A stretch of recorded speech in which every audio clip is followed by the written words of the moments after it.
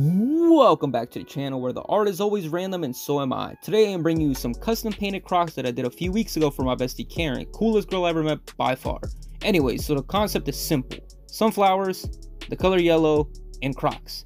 She says she likes crocs, she says she likes the color yellow, and she likes sunflowers, so I decided to combine all three of them for this video. You know, as a late birthday present because I'm always the gift that keeps on giving, haha. Anyways, these actually didn't take super long, but it did take some time to get them done on time, if that even makes any sense.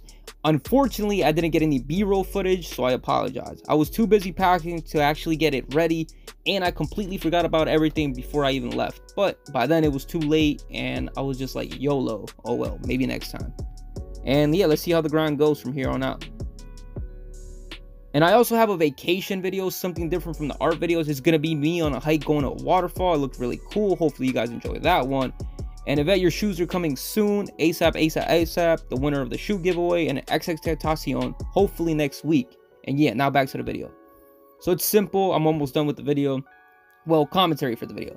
So I used Angelus paint, but first I used outline marker for illustrations. I then just did a quick layer to the base yellow wouldn't shine through. I did thick lines for sunflowers to give it depth and kind of make it look like Van Gogh style but with my twist to it. I added an acrylic gloss to it at the end, that's why it looks kind of shiny. Maybe like two or three layers and called it a day. Hopefully they don't fall apart in the rain on her. The shoes will be fine but hopefully the actual drawing itself stays on very long. And you don't know, well I don't know because I never really painted Crocs before but let's just see how it goes.